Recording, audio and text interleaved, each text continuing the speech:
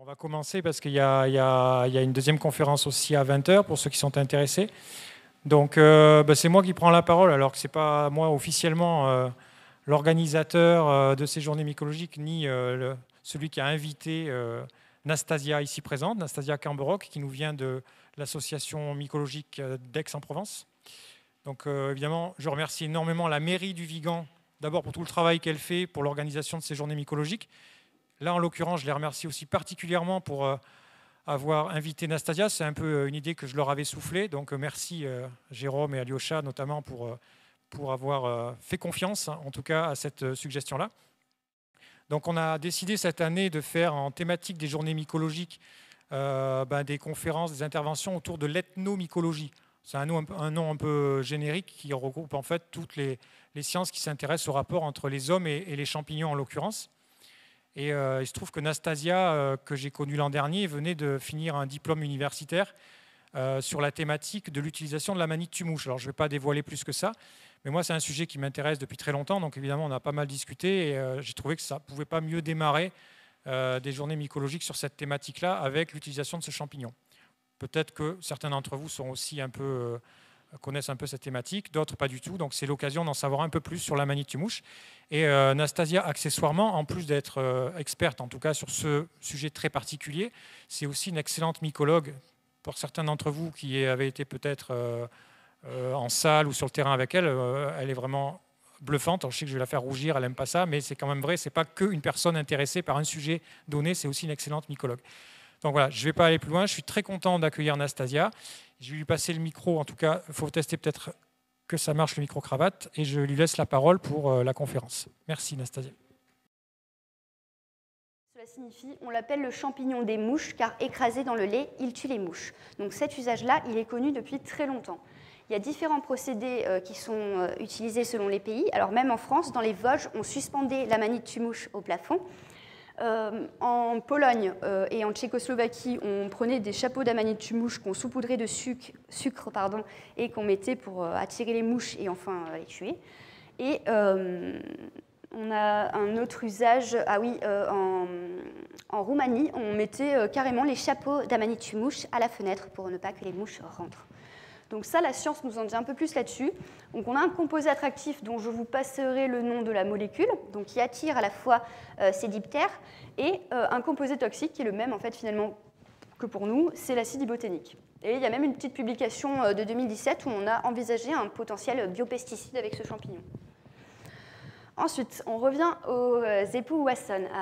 en fait, il y a une autre interprétation de la mouche. La mouche aurait un sens plutôt comment dire, euh, métaphorique. Et, euh, là, elle a un sens euh, même, elle est diabolisée. En fait, Belzébuth, Belzébuth pardon, on l'appelle aussi le seigneur des mouches. Donc, en fait, ce serait vraiment une connotation négative et démoniaque de ces champignons.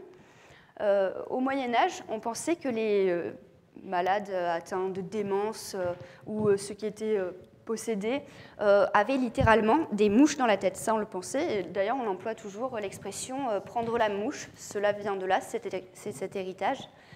Et euh, encore une fois, les, études linguistiques, on a des noms vernaculaires hyper intéressants dans l'Aude, en Catalogne, enfin, en Italie, où on retrouve soit, enfin la traduction, hein, c'est champignon des fous ou orange folle. Alors là, à mon sens, ça pourrait venir de justement ce que je vous disais au départ, de la confusion avec euh, l'orange, la manite des Césars.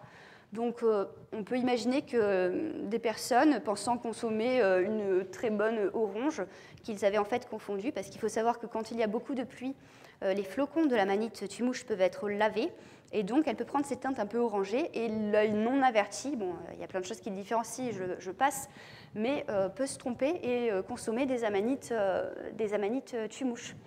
Et donc, en fait, ces personnes-là, euh, intoxiquées, en fait, hein, euh, étaient en prix de folie passagère, et donc c'est pour ça qu'on la nommerait euh, orange folle.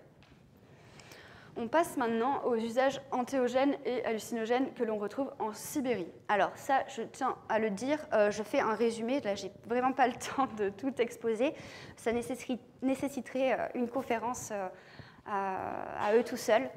C'est vraiment extrêmement riche, il y a une grande complexité des traditions indigènes sibériennes. Et vous voyez donc cette carte que l'on retrouve dans un, dans un livre de, de Roger M. on a plus d'une dizaine de peuplades sibériennes qui utilisent la mouche au, 18e et au 19e siècle. Et chaque euh, peuple a ses propres traditions et c'est extrêmement intéressant. Euh, alors, euh, aussi, je vous parle un petit peu de la difficulté que j'ai eue de trouver des sources fiables. Alors, par moment, en fait, parfois on se retrouve avec des, documents qui datent du 18e et qui sont extrêmement romancés, et parfois, même les auteurs ont des propos très déroutant et pas très sympathique pour, euh, pour ces peuples-là. Donc euh, il faut faire le tri entre la romance et ce qu'ils ont imaginé, euh, etc., et ce, qui est, ce qui avéré. Donc je me suis vraiment basée sur des auteurs de référence pour, pour recenser tout ça. Encore une fois, des pétroglyphes intéressants. Donc ça, sur le plateau de, de Lucoc, dans l'Altaï, vous avez ces représentations, donc des hommes champignons. certains y voient des danseurs, danseurs coiffés. Alors, il y a eu une petite, euh, pareil, c'est un petit peu controversé. Dans ce, dans ce genre de pétroglyphes-là, euh, certains anthropologues y voient simplement des euh, représentations de chapka. Donc voilà, ça c'était pour vous le présenter. Par contre, à droite, donc les pétroglyphes que l'on a retrouvés près de la rivière Pektimel dans le Tchukotka sont largement différents. Ils ont en fait, Bogoras, un anthropologue russe, nous dit que dans l'art tchouk, euh, l'anthropomorphisation des objets euh, est, vraiment euh, typique de cet art-là et que ce serait donc l'expression de cet ancien culte de la Manitumouche dans ces peuples-là. Donc en Sibérie, j'ai résumé cela en deux types d'usages. Le premier, un usage chamanique. Donc il existe une multitude de modes de consommation et de modes de préparation, de légendes autour, autour de la consommation rituelle d'Amanitumouche. Donc en général, on entreprend surtout le chaman, pas toujours, mais très souvent. Euh, d'ailleurs, le chaman, euh, c'est un, concept, hein, on parle de chaman en Amérique du Sud, etc. Mais à l'origine, ça vient de Sibérie. D'ailleurs, le mot chaman en lui-même, la racine, ça vient du tungus, donc c'est un langage de, Sibérie, ça signifie sauter, jouer. Et euh, voilà, ça a vraiment été à l'origine décrit là-bas. en fait, donc c'est dans un but de communication avec les esprits. Souvent, on pose une question aux esprits, donc euh, ça peut être euh, moi qui demande à un chaman, est-ce que tu peux poser ça comme question pour moi? Et euh, dans ces cas-là, on va faire un rituel, on va entourer de différentes manières la prise d'Amanitumouche par le chaman. Donc dans la région de l'Irtish, on fait carrément des offrandes. Donc, le chaman vient généralement le soir chez ses hôtes qui l'ont convoqué. Ils répandent de la bière dans la maison, ils font brûler des écorces et euh, on prépare un bain pour le chaman. On nous dit qu'il mange entre 3 et 7 chapeaux et euh, que les émissaires, donc l'émissaire, euh, ce sont les amanitumouches, vont aller voir les dieux et répondre aux questions, aux questions des hôtes. Chez les Samoyèdes, c'est un petit peu différent. En fait, le nombre d'amanitumush consommés correspond au nombre d'esprits qui vont s'adresser au chaman. Et chez les Ostiaks, c'est carrément l'amanitumouche qui est personnifiée et qui s'exprime par la bouche du chaman. Au niveau des modes de consommation, pareil, c'est extrêmement riche, mais souvent, donc, alors ça c'est hyper intéressant aussi, euh, elle est principalement consommée séchée. Euh, d'ailleurs, on trouve chez les Mansi la mention, euh, si on, enfin, en gros, ils disent qu'il ne faut absolument pas le manger cru et que c'est même mortel. Euh, séché, pourquoi? On l'a vu tout à l'heure un petit peu avec les molécules que je vous ai présentées. Donc on sait que l'acide ibothénique, euh, il se décarboxyle bah, justement avec le séchage et que le mucimol augmente avec le séchage. Donc le principe actif, le principe hallucinogène. Donc euh, ces peuples avaient déjà plus ou moins tout compris avant même l'arrivée de la chimie. Et elle est parfois donc prémâchée, souvent par les femmes et conservée dans des petites boîtes en bouleau que les hommes mangeront plus tard. Parfois, le chaman est une femme aussi, hein, ça dépend vraiment des peuples en question soit elle est faite en décoction, euh, donc soit dans du lait de renne, soit dans de l'eau, et euh, parfois il y a du sucre d'érel des marais qui est ajouté. Et euh, j'ai lu aussi que parfois on mange le, enfin, les hommes mangent le champignon directement sans le mâcher, ça, ça dépend vraiment des, endroits, et parce que c'est réputé enlever les troubles digestifs. Voilà. Et ensuite, je vois un tout petit peu. L'autre type d'usage que l'on retrouve euh, dans la tradition sibérienne, bah, c'est un usage récréatif. En fait, euh, pendant longtemps, on n'a pas trouvé d'alcool dans ces contrées-là, et c'était un petit peu le seul moyen euh, pour les hommes de s'enivrer. donc il y a une, voilà, une consommation en fait, on pourrait dire voilà, vraiment purement récréative de ce champignon. Alors pourquoi j'ai mis ce petit pot d'urine juste ici? Alors ça, c'est typique de la manie de tumouche. En fait, les principes actifs de la manie de tumouche passent très bien dans les urines et sont conservés pendant longtemps. Je vais vous dire pourquoi.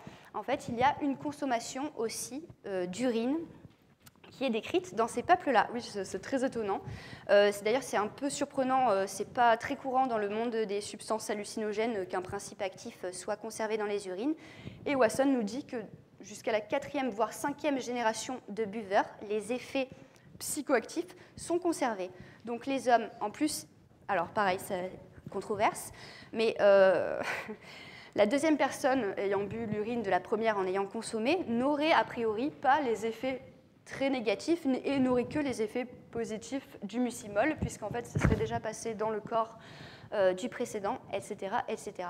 Et on récoltait, alors ça c'est dans certaines localités où la manitchmouche n'était pas forcément très euh, abondante, les pauvres euh, donc récoltaient près des yourtes l'urine des, des, personnes plus riches en ayant consommé. Alors ça vient d'où cette consommation d'urine? Parce que c'est quand même pas non plus super commun on a l'explication, plus ou moins, euh, enfin une hypothèse. Hein. Alors, euh, je pense que vous savez que le renne est vraiment le pilier central de la vie en Sibérie. On l'utilise pour tout, pour la viande, pour la fourrure. Euh, les sabots sont consommés, on utilise les tendons pour faire des cordes. C'est vraiment le lait aussi, etc., etc. Un vrai pilier. Et il s'avère que ces animaux sont amateurs, eux aussi, d'amanite tumouche. Et ils en sont friands et visiblement, ça agit de la même manière sur nous, que, enfin, sur notre métabolisme, que sur le leur. Ils sont enivrés après en avoir consommé et agissent de manière un peu euh, bah, bizarre. Et, autre fait étonnant, ils sont euh, également attirés par l'urine d'autres rennes ayant consommé de la manite tumouche. Donc ils sont pas, voilà, ils sont, ils sont pas bêtes. Ils avaient déjà aussi euh, observé ça et paraîtrait même que certains peuples utilisent euh, l'urine euh, pour attirer les rennes, pour les attraper plus facilement. Donc en fait, potentiellement, ça pourrait venir de l'observation du comportement animal, cette consommation rituelle d'urine. Euh, J'avoue que je connais. Non, je pense. Je ne sais pas. je préfère pas me prononcer. Euh, Allez, on change de pays, on part en Inde, et en Inde védique, donc euh, il y a environ euh, plus de 3000 ans. Euh, là, je vais vous présenter aussi une théorie de Gordon Wasson. Donc, on va parler du soma. Le soma, c'est quoi? C'est une plante et aussi une boisson rituelle enivrante, donc qui est censée apporter ivresse et immortalité. dans les Védas, donc qui sont les textes védiques et notamment dans le Rig Veda, on voit que c'est à la fois une personnification de la boisson euh, en, tant que divinité, donc on parle de soma en tant que dieu, mais aussi de boisson euh, rituelle. Donc pour ceux qui connaissent un peu la mythologie grecque, ça serait comparable à l'ambroisie. Donc sur les 1028 hymnes, euh, hymnes pardon, que l'on a dans le Rig Veda, 120 sont consacrés au soma. Et on nous dit qu'il y a une consommation rituelle par les prêtres brahmanes dans le but de s'enivrer, etc. Euh, alors, pourquoi je vous parle de ça? Parce que pendant longtemps, euh, on n'a pas su ce qu'était, parce que c'est jamais décrit euh, vraiment textuellement dans, les, dans les Védas, quelle était l'identité de la plante. Donc, beaucoup d'encre a coulé, on a pensé que c'était les genres éphédra, cannabis ont été évoqués, mais ça ne collait jamais avec les indices laissés par, par les textes anciens. Et il a fallu attendre donc, les travaux de Robert Gordon Weston pour voir apparaître une théorie fongique cette fois. Donc le soma serait en réalité la manite mouche. On va voir pourquoi. Donc, euh, je vous ai mis un extrait de texte, je vais essayer de faire vite. Donc, on nous dit que le soma n'a pas de feuilles, de fleurs, de racines, ni même de graines. C'est vrai que c'est un petit peu spécial pour une plante, donc ça collerait mieux avec un champignon. Qu'il ne pousse uniquement euh, qu'en montagne, dans les hauteurs de l'Himalaya. Pareil, ce serait un biotope qui pourrait convenir à notre amanite mouche on a une métaphore qui nous dit euh, une mamelle éclaboussée de son lait divin. Euh, en fait, donc la mamelle de couleur, ben, on imagine quelque chose de rose, rouge, euh, éclabousée de lait, qui pourrait correspondre au flocon de notre champignon. On nous parle de pilier du ciel. Il est fait mention de la tête de la plante et du pied. Donc vous connaissez bien le chapeau et le stipe du champignon et également l'œil unique. Donc je vous l'ai parlé tout à l'heure, le, voile général du champignon lorsqu'il se rompt, on pourrait peut-être penser à effectivement un œil et les paupières, etc. C'est imagé hein, évidemment. Et encore autre fait, il y a plusieurs allusions à l'urine dans les textes. En fait, on nous dit que les dieux et les prêtres pissent, c'est marqué comme ça, pissent le soma. Donc euh, ça pourrait euh, apporter du crédit à cette hypothèse euh, fongique. En France encore, on passe complètement sur autre chose, mais toujours dans les usages anciens, on a des usages thérapeutiques de ce champignon. Donc Joseph Roch nous dit que les médecins allemands ont cru trouver en lui un remède contre l'épilepsie, les ulcères atoniques et même la paralysie des membres. Euh, il, il, informe quand même qu'il faut se méfier parce que c'est un champignon toxique, mais que ses propriétés excitantes peuvent être utilisées à des fins thérapeutiques dans d'autres textes, et notamment Pharmacopée universelle de Jourdan. Alors ça c'est assez sympa parce qu'on a des, recettes avec la posologie, le mode de préparation, euh, euh, ils appellent ça euh, agaricot-mouche, donc une marmelade d'agaricot-mouche, un vinaigre. Et je vous ai passé les détails parce qu'on a beaucoup de, beaucoup de pathologies que c'est, hmm, comment dire, qu'elle peut potentiellement soigner. Et enfin, des usages alimentaires anciens alors, au 19e et au 20e siècle, on a une consommation, même en France, de la manite tumouche. Donc, sud de la France, pas plus de précision que ça, consommée après avoir été lavé et bouilli. Et ça, c'est assez rigolo. Dans le milieu de la France, au milieu de la France, ils avaient constamment pris l'habitude de les manger. Donc, le constamment appuie vraiment le, phénomène. Et enfin, en Sibérie, au Japon et même à Washington, donc euh, des population afro-américaine. On a des détails sur les modes de préparation, etc. C'est pareil, c'est intéressant. Parfois, certains pèlent la cuticule, d'autres. Souvent, on, retrouve le fait que le champignon est bouilli avant d'être consommé. Alors ça, c'est marrant, donc je, vous l'ai mis aussi. Euh, le docteur Pouchet, en 1834, euh, entreprend euh, différentes études et il se dit, je vais vraiment apprendre à détoxifier la manie de. Donc, euh, il estime que ça sera d'un grand bienfait pour les classes pop de notre pays. Alors, euh, je pense qu'il pense un petit peu euh, au manioc en parallèle, donc on est obligé de, qui est, une ressource quand même alimentaire abondante, mais qui nécessite d'être détoxifiée avant d'être mangée et il entreprend diverses expériences sur des chiens. Donc il nous donne beaucoup de détails dans cet article. Euh, c'est quand même paru dans euh, le journal de chimie médicale de, pharmacie et de toxicologie. Donc c'était un journal quand même assez sérieux à l'époque. Et euh, donc en fait, il, part du principe que les, composés toxiques sont solubles dans l'eau. Donc il nourrit des chiens avec du bouillon, qui d'ailleurs ces pauvres chiens meurent. Par contre, d'autres chiens survivent en étant nourris qu'avec de la tumouche. Dans l'article, il nous dit qu'il va poursuivre ses études, mais en fait, finalement, ça fait un petit peu un flop, j'ai l'impression, et on n'en a plus parlé. À un moment donné, on pense qu'il y a un tournant vraiment, euh, notamment au XXe siècle. Là, les auteurs la classent désormais toxique. Il y a dû avoir des cas d'intoxication, etc. Et on ne parle plus du tout de ses usages alimentaires. Et ça persiste par contre dans certaines localités, et on en parlera juste après. Donc je passe maintenant aux usages actuels de ce champignon. On, on va le voir, donc je ne vous les liste pas. Euh, les usages récréatifs tout d'abord. Donc, euh, pour mon mémoire, j'ai d'abord contacté le centre d'addicto-vigilance de Marseille qui m'a informé recevoir très peu euh, d'appels concernant des, consommations, des addictions, la manie de tumouche. Ils m'ont conseillé d'aller consulter le site internet Psychoactif, qui est un forum en fait, d'information, d'échange sur les drogues en général, dans une démarche de réduction des risques, donc pour ne pas faire n'importe quoi, partager des expériences, etc. Et euh, sur ce site, 425 euh, discussions au moment où j'ai fait mon mémoire étaient quand même euh, destinées à la manie de par contre, pour vous faire un, parallèle, il y avait plus de 15 000 discussions dédiées au LSD, qui est une autre drogue. donc, vous voyez, c'est quand même assez rare. Donc, ce que j'en ai conclu par l'étude de ces discussions, etc., c'est que c'était une drogue qui était quand même peu usitée et peu connue, euh, ce qui ressort de la part des utilisateurs, c'est que les effets sont puissants et les, les euh, sont vraiment imprévisibles, que c'est pour les personnes, euh, les psychonautes avertis. Il y a une méfiance de la part des utilisateurs. Souvent, on a peur, enfin, les gens ont peur de s'intoxiquer, même de mourir. On voit souvent même la peur de confondre le champignon avec autre chose, etc. Et les différents modes de consommation. Alors, fumer le champignon séché est réputé être plus doux et euh, sinon, on le redétaillera après, vous allez voir, on en fait des décoctions et euh, du microdosing.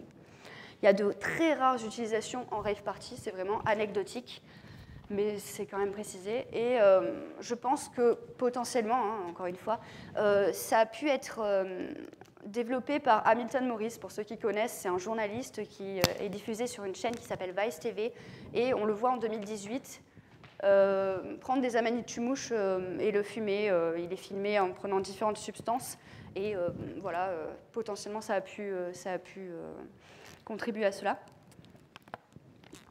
Mais ce qu'il en ressort, c'est quand même il y a peu d'usages référencés par rapport à l'abondance du champignon dans la nature et surtout au fait qu'elle ne soit pas légiférée en France. En fait, dans le texte de 1990 qui classe les substances les drogues manière, de manière générale, euh, elle, n'apparaît pas. Euh, les psilocybes apparaissent, les conocybes, d'autres genres, stropharia, etc. Mais euh, la manitumouche n'y figure pas. Alors, ça c'est un gros paragraphe. en fait, en ce moment et depuis donc 2019, que, du moment où j'ai commencé à étudier Muscaria, il y a vraiment quelque chose qui est en train de se passer aux États-Unis euh, et euh, un phénomène vraiment. Euh, le, champignon devient extrêmement populaire. Alors, j'ai appelé ça nouvelles utilisations thérapeutiques parce que, en fait, je le dissocie complètement des usages récréatifs parce que c'est vraiment dans le but de se soigner. Donc, au même titre que Hamilton Morris a contribué, c'est le journaliste d'avant, à populariser peut-être la manite mouche, on a cette personnalité-là, Amanita Dreamer, qui est très présente sur les réseaux sociaux qui a entrepris des recherches et euh, qui communique énormément. Euh, euh, elle, évoque le fait qu'elle s'est sevrée des benzodiazépines, de son addiction aux benzodiazépines et de son anxiété chronique grâce à la manette mouche. Donc du coup, ça m'a donné l'idée d'aller étudier un peu plus, enfin, un peu plus loin, voir les réseaux sociaux. Et en fait, il y a extrêmement de, enfin, un grand nombre de groupes Facebook dédiés à l'usage d'amanite mouche. Donc, dans un but thérapeutique. Euh, ouais, j'ai mis, les chiffres. Euh, quand j'ai commencé à étudier, le groupe était à environ 17 000 membres. Euh, actuellement, il est donc, en moins d'un an, un peu plus d'un an, pardon, à 29 000, donc ça monte en puissance. Donc, ce qu'il en ressort dans les discussions, c'est vraiment le traitement de l'anxiété, de l'insomnie et le sevrage de manière générale, que ce soit pour les benzos ou pour l'alcool, etc. Donc le mode de consommation privilégié, c'est d'abord le séchage du champignon pour la décarboxylation, dont je ne vous répéterai pas euh, ce que ça fait, et ensuite une décoction, ils appellent ça un chi, et enfin un microdosing. Donc on fait, euh, on microdose le champignon. On ne le prend pas dans un but d'avoir une alu, un délire, etc. On le prend vraiment à dose dite euh, thérapeutique.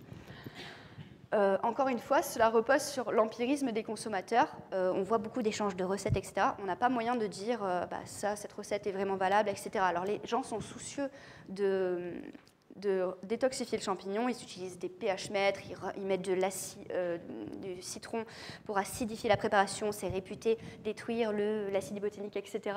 Mais voilà, pour l'instant, c'est vraiment ça, c'est empirique. Euh, donc, euh, ce que j'en ai conclu, et d'après l'étude de, toutes ces discussions, c'est que vraiment il y a une volonté de se soustraire euh, aux médecines dites conventionnelles et aux médicaments de synthèse, tout bonnement parce que bah, on sait très bien hein, que la prise de benzodiazépine c'est pas pas génial sur le long terme. Hein. Donc voilà, ça c'est intéressant. Et là, ça continue de monter en puissance. Bon, là, je viens de voir en septembre 2022, j'ai rajouté cette diapo. Il y a carrément un livre dédié au microdosing de la manitumouche qui vient de paraître. Donc euh, là, je vous ai mis pour ceux qui ne sont pas familiers avec le terme le microdosing, donc ça, consiste à prendre en toute petite quantité une, substance psychédélique, donc soit du LSD, des champignons, etc., à une dose qui, voilà, qui, qui, ne, provoque pas d'effet ou de trip vraiment important.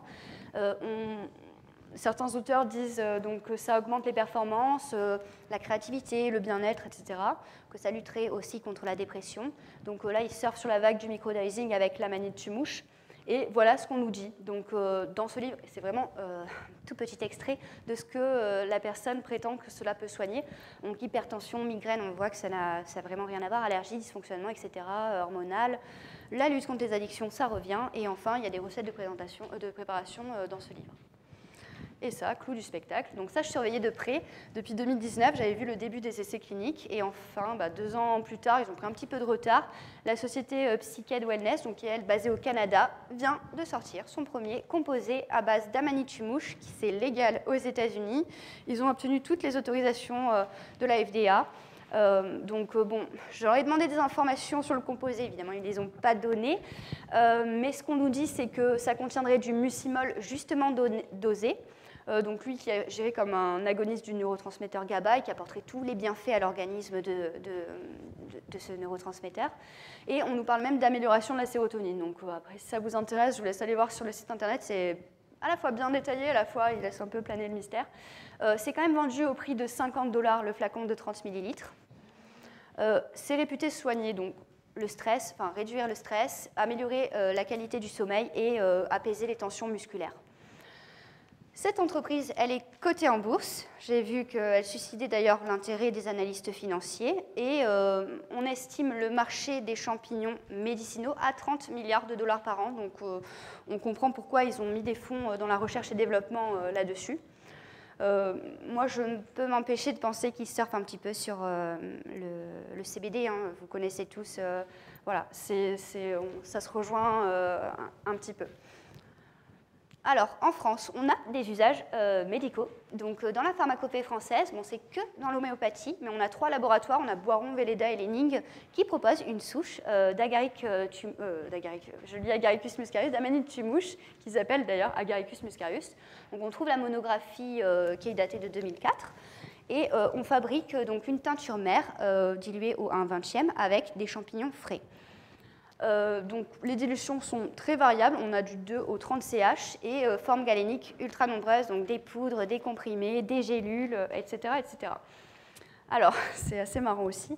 Euh, donc, ça vient des pathogénésies pardon, de Hahnemann, donc un peu le créateur de, de l'homéopathie, et c'est réputé traiter les tics, les spasmes musculaires et le déficit intellectuel. C'est rigolo, ça revient. Donc, bon, prenons tous de la médecine et disons que voilà, je l'ai amené là. Euh, j'ai fait le tour des pharmacies, c'est pas évident à trouver. Hein. C'est pas non plus euh, le Nux vomica ou Arnica montana que l'on trouve très fréquemment. Là, je, crois que j'ai fait trois pharmacies pour trouver ça. Ils n'avaient que cette dilution, donc c'est pas non plus extrêmement euh, utilisé, mais quand bien même, ça existe. Donc il doit y avoir des personnes qui s'en servent toujours. Allez, on part euh, en Ukraine cette fois. Alors, euh, ça, c'est. L'Ukraine euh, ne vit pas des bons jours en ce moment. D'ailleurs, je parlerai de la Russie juste après. C'est pas fait exprès. donc là, j'ai découvert en faisant mes recherches un centre de thérapie fongique qui se trouve à Kiev. D'ailleurs, j'ai envoyé une copine là-bas qui est ukrainienne. À l'époque, il n'y avait pas encore toute cette problématique. Et j'ai ramené, pour ceux qui veulent voir après, pas mal de produits qui viennent de ce centre. Et eux, ils sont vraiment euh, uniquement euh, basés sur les produits à base de champignons. Donc il y a plus de 66 références de champignons. Il y a, énormément d'espèces qui sont utilisées. Coprin, girole, mori euh, et même gyromitre. Donc on sait que le gyromite pourtant c'est une espèce mortelle. Avec un syndrome gyromitrien bien, bien documenté, mais quand bien même, ils s'en servent encore de manière thérapeutique. Et les formes, voilà, formes galéniques encore plus riches que l'homéopathie pour le coup, je vais vous quand même le montrer. C'est pareil, c'est une anecdote assez marrante. Euh, est-ce que vous avez une idée de ce que c'est? C'est à base d'amanite tumouche. Hein. Bien, exactement. Euh, ce sont des suppositoires à base d'amanite tumouche. On a de l'extrait concentré, on a des poudres, etc. etc. Et euh, ce champignon, dans la médecine traditionnelle ukrainienne, est réputé soigner près de 200 maladies plus de 200 maladies, et euh, il y a même des euh, utilisations en oncologie qui sont détaillées dans, certains ouvrages euh, ukrainiens. Donc, eux, comme je vous l'ai montré, ils développent trois produits à base d'amanite tumouche. Et c'est pas forcément à des prix très, très élevés pour l'Ukraine. Euh, en discutant avec mon ami, euh, j'ai pu me rendre compte qu'en en fait, il y a une falsification des médicaments qui est très courante en Ukraine. Et elle me disait que le prix des médicaments était euh, de synthèse hein, extrêmement exorbitant. Même pour avoir une, avant la guerre, hein. pour avoir une boîte de doliprane, c'est très très important en, en, termes d'argent pour eux. Et donc, pour moi, ça pourrait euh, impliquer cette persistance d'usage traditionnel. Finalement, on sait que donc, la manite, on en a en abondance. C'est plus facile à préparer qu'un médicament de synthèse. Donc voilà, ça pourrait être l'une des explications. Euh, dans d'autres euh, localités en Europe de l'Est, on a effectivement des recettes maison, on trouve ça sur les blogs, comment préparer une teinture à, base d'amanite tumouche. Alors souvent, ça revient beaucoup, c'est utilisé pour les douleurs articulaires. Donc il y a même, bon, bah, comme d'habitude, hein, mais certains sites qui surfent sur la vague et qui vendent leurs propres, leurs propres composés. Ça, c'est en Russie. Euh, donc, euh, un usage cosmétique. Alors, ce champignon, là-bas, il faut savoir qu'il est super populaire. Donc, euh, les Russes, déjà, affectionnent beaucoup les champignons de manière générale, et notamment l'amanite tumouche. Donc, il y a une gamme de crèmes qui s'appelle Amanita VS. Et bon, je ne vais pas vous détailler toutes les crèmes à quoi elles servent, mais c'est pareil, c'est très très vaste. Donc, on passe de la cellulite en passant par les rides, les callosités, les mains sèches, etc. etc. Alors, je pense qu'il y a peut-être un petit côté marketing derrière, parce qu'en fait, on se rend compte. Euh, alors, euh, ça, c'était les, présentations euh, de la gamme dans un magasin, donc les filles habillées en amanitubouche avec des grands chapeaux, etc. Et en fait, on se rend compte que dans chaque crème, donc il y a un petit peu d'amanitubouche, on ne nous dit pas d'ailleurs combien il y en a, mais il y a aussi beaucoup d'autres composés végétaux, minéraux, etc., etc., Donc, on ne peut pas attribuer tous ces bienfaits à notre amanite, du moins, je ne pense pas. Et enfin, des usages alimentaires modernes. Oui, ça existe toujours. Donc aux États-Unis, on a deux auteurs qui font des choses vraiment très intéressantes, euh, mais bon, on va le voir, mais euh, qui proposent donc euh, une méthode pour détoxifier la mouche et même des stages, David Arora, pour apprendre à cuisiner la mouche et la, et la détoxifier.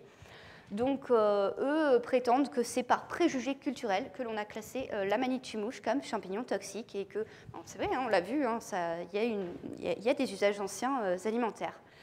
Et pour eux, c'est une véritable perte de données ethnographiques. Les gens mangent de moins en moins d'espèces de champignons. Bon, après, il y a des raisons à ça. On se rend compte aussi que certaines espèces de champignons bah, deviennent toxiques. On a de nouveaux syndromes. La liste est longue, hein, tricolome équestre, les, les elvelles, etc. je vais passer là-dessus. Et euh, alors, il donne une méthode sur son site internet, euh, je l'ai marqué, c'est couper en fines tranches et bouillir dans de l'eau salée 15 minutes. Apparemment, ça détruirait l'acide botanique. Par contre, pour moi, ça manque un petit peu de rigueur. On ne nous dit pas du tout la taille des tranches, on ne nous dit pas la quantité d'eau, euh, on ne nous dit pas la quantité de sel non plus, donc ça reste quand même assez, assez vague. Et au Japon, par contre, c'est intéressant, dans une localité dans la région de Sanada, euh, un rapport euh, extrêmement intéressant aussi qui nous dit qu'il reste euh, et persiste une utilisation, une consommation d'amanite mouche. Alors là, la rigueur est vraiment au rendez-vous. L'auteur est allé en laboratoire faire analyser le champignon qui avait été préalablement bouilli puis conservé dans du sel. D'après les tests en laboratoire, il ne reste plus aucune trace ni de l'acide botanique ni du mucimol dans le champignon. Il y a d'autres préparations qui sont évoquées. Alors, soit les champignons sont mangés euh, grillés et consommés euh, traditionnellement avec du saké, euh, ou alors le champignon est séché et réduit en poudre. Et pour ceux qui connaissent la cuisine japonaise, ça, serait la cinquième saveur des Japonais qu'on appelle unami. Et enfin, et après j'en aurai terminé euh, presque, euh, le commerce et la législation. Bah, qui dit euh, nouvelles pratiques, popularité, etc., dit bah, apparition d'un commerce. Et vraiment, si, à l'occasion, tapez-le sur Google, Amanita, Muscaria séché ou dried, enfin bref, en anglais il y a plus de résultats. Vous allez voir ça prolifère. Donc on a vraiment beaucoup de sites marchands, la plupart sont basés en Europe de l'Est. Euh, on trouve de tous les conditionnements, donc de 15 grammes à 1 kg. Et le prix moyen, j'ai mis 24,50 euh, euros et 30 grammes. C'est quand même quelque chose d'assez euh, c'est cher, hein, on peut dire. la Manita Pantherina est vendue aussi et est plus chère. Il y en a quand même beaucoup moins que de la manite chumouche, hein, c'est vraiment sporadique. Et systématiquement sur tous les sites, c'est non destiné à la consommation humaine. Alors on peut se demander ce qu'on va faire d'un kilo d'amanite séchée, après, euh, pourquoi pas, hein, en exposer, etc. Et donc voilà, là je vous ai mis un petit peu un, un, site internet que l'on retrouve. Donc là, on a de la, de la régalis même euh, ici en bas à gauche pour ceux qui, connaissent cette espèce. Et euh, au niveau de la légalité, alors dans les pays, il n'y en a que deux euh, qui ont vraiment clairement identifié euh, la mouche comme illégale. Donc c'est l'Australie et les Pays-Bas. Alors l'Australie, je crois que c'est au titre du mucimol qu'elle contient. Et en Angleterre, par contre, il est fait mention que c'est interdit de se droguer avec, entre guillemets. Et dans ces cinq autres localités, donc en Louisiane, euh, dans le Tennessee, en Roumanie, en Thaïlande et en Norvège, alors les sites euh, que j'ai consultés n'expédient pas. J'ai essayé de faire des recherches, c'est très compliqué. Euh, dans les textes, c'est pas clairement mentionné. après, je ne suis pas non plus juriste, mais je pense que c'est potentiellement illégal d'en manger là-bas. Enfin, d'en consommer là-bas. Voilà, donc je vous remercie pour votre attention. Je remercie, bah, voilà, encore une fois, la mairie du Vigan, Jean-Michel et les, personnes, les autres personnes que j'ai citées aussi pour le partage de photos, etc. Et je voulais juste, alors ça, je fais un petit peu de pub pour, pour moi. Euh, je viens de coécrire un livre avec Didier Borgarino, pour ceux qui le connaissent, qui est un grand mycologue et euh, pharmacien. Euh, on a donc publié ce livre chez Tana Édition. Donc c'est pour ceux qui sont intéressés par la mycologie et surtout vraiment les bases de démarrage de la mycologie. Après, les amateurs un peu plus éclairés pourront y, y, trouver leur compte également. Donc voilà, vraiment, donc, on, est, on est sur des clés d'orientation des genres qui sont extrêmement euh, imagés. On a fait faire plus de 130 dessins par une illustratrice, il y a plus de 130 photos, donc ça se présente comme ça. Vous avez les nouveaux genres, vous avez aussi les noms, anciens qui sont plus, enfin l'aspect est plus euh, pédagogique. Donc euh, voilà, si ça peut vous intéresser, je vous gonfle pas plus avec ça, mais si jamais j'en ai quelques-uns à vendre, voilà. Je vous remercie.